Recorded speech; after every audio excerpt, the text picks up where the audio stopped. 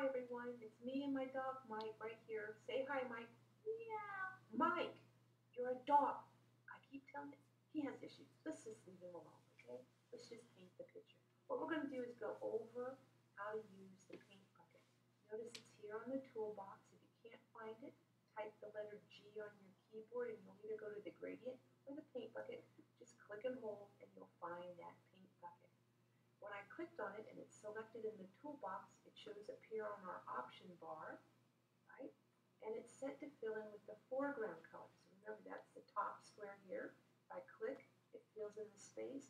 And notice it stopped when it hit another color. That's how it knows when to quit filling the picture up with another color, when it hits another color.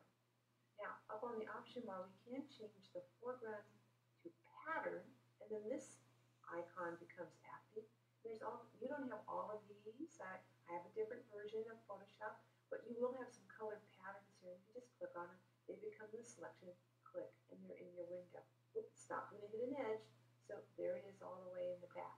Now, I want to show you what happens though if it doesn't fill the whole thing in. Let's go back to foreground color, and let's try to paint Mike's forehead and his ears. Ooh, it didn't go all the way in. But there's a break there. There's no black there. So what I'm going to do is check the tolerance. Oop, somebody's changed it down to real. I'm going to put it up to 30 or magic number. I'm going to do undo over here in history so I can see if it works. If I click here, it fill in the whole, head with a higher tolerance? And it does. Ooh. So I could go around, change the colors, fill in the areas. Okay. Now if you do have a break, remember you can take your paint brush, fill in the hole, choose another color, take your paint bucket. I think we should do that with another color. Let's just do white. Yeah, it'll stop. You gotta plug up the holes with your paintbrush or, with a pencil tool. Now there's some other things up here on the option bar like um, modes. I'm not gonna go over these today, but hey, you're an artist. If you wanna experiment with these and figure out what they do, more power to you. Be like an artist, be daring, be brave, explore.